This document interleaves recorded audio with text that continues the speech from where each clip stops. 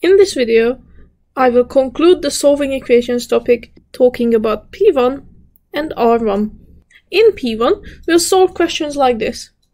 I think of a number, I multiply this number by 4, and then add 3. The answer I get is 23, and the question we are trying to work out is what was my original number. We can denote this original number with x to help us form an equation. We can form an equation as such. We start with x. When we multiply this x by 4, we'll get 4x, and then we add 3, and the answer will equal to 23. So we can write an equation as 4x plus 3 equals 23. To solve this, we can use our bar modeling. Let's do that.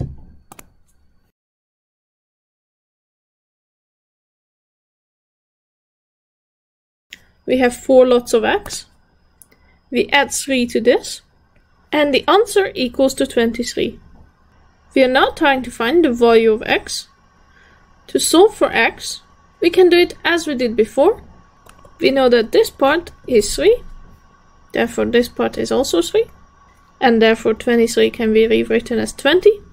And then we have that 4 lots of x going to 20, therefore 1x will be 20 divided by 4, which is 5. So we can say that x equals 5. We can also give a full answer by saying that the original number was 5. Moving on to R1.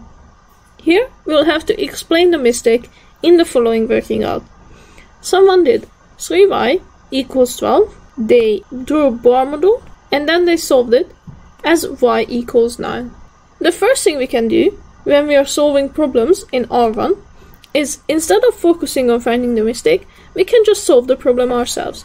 So let's solve 3y equals 12. If we draw the bar model for this, we'll do it as such. And then we can immediately see that because 3 lots of y's go into 12, 1y will be 12 divided into 3 equal parts, which means y equals to 4.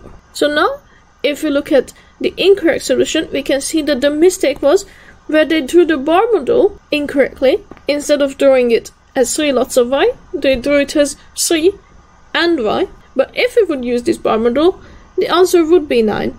The mistake that they made is they drew the bar model incorrectly.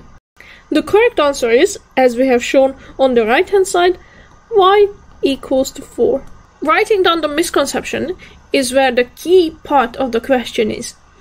You not just have to be able to spot the mistake, but you have to be able to explain where that mistake came from.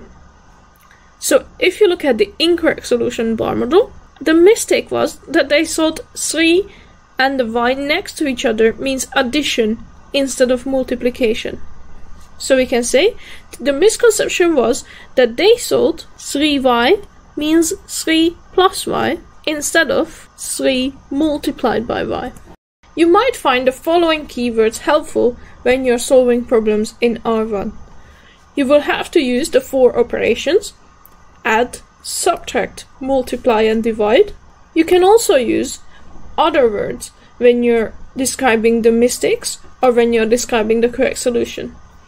You can say next to, lots of, over, and shared when you're talking about multiplication and division. It's also important that you point out if something has to be equal parts, and often the mistake is in the bar model.